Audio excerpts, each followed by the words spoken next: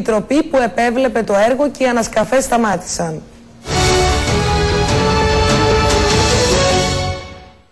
Ανασκαφές 32 ετών στο σπήλαιο του Δηρού.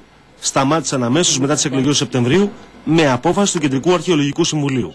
Απόφαση που, όπως καταγγέλει ο επικεφαλής των αρχαιολόγων στο σπήλαιο, πάρθηκε μετά από τις υποδείξεις του κ. Χρήστου Ζαχόπουλου. 1975 πότε διεκόπη, κύριε Παπαθανασόπουλο. Πότε διεκόπη; Ναι. Ε, τώρα. Μετά τις εκλογές του Σεπτεμβρίου; Μετά τις εκλογές. Ναι. Μετά τις εκλογές. Τώρα, με την απόφαση αυτή που μου λέτε. Ο αρχαιολόγος Γιώργος Παπαθανασόπουλος, πρόεδρος της Επιτροπής των Ανασκαφών στο σπήλαιο της Αλεπότρυπα στο Δηρό, εξηγεί στον Α ότι χρειάζεται τουλάχιστον ένας αιώνας συστηματικών ανασκαφών για να έρθουν στο φως του ήλιου τα περισσότερα ευρήματα που εικάζεται ότι κρύβονται στο χώρο που έζησε ο νεολιθικό άνθρωπος. Όμως ο κ. Ζαχόπουλος υπέγραψε την κατάργηση της Επιστημονικής Επιτροπής που επέβλεπε το έργο και εκχώρησε τις αρμοδιότητές της στον εαυτό του. Όταν ο Γενικός Γραμματέας ταυτόχρονα είναι πρόεδρος του ΚΑΣ και ταυτόχρονα, ταυτόχρονα προϊστάμενος όλων των υπηρεσιών του Υπουργείου ως Γενικός Γραμματέας που είναι, αυτός είναι ο ρόλος του Γενικού Γραμματέα, επηρεάζει τους εισηγητές. Τους υφισταμένους του. Βεβαίως τους επισταμένους του. Το ΚΑΣ ε, έκανε αυτό που είπε ο Γενικός Γραμματέας. Αυτό είναι το φύλλο της εφημερίδας τη κυβέρνησης. Με ημερομηνία 22 Δεκάτου 2007 αποφασίζεται η κατάργηση της Επιτροπής Αρχαιολογικού, Μουσιακού και Ανασκαφικού Έργου Δηρού.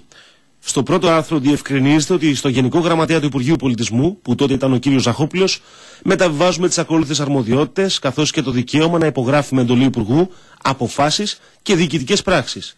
Και διευκρινίζεται αποφάσεις απευθείας ανάθεσης κτλ.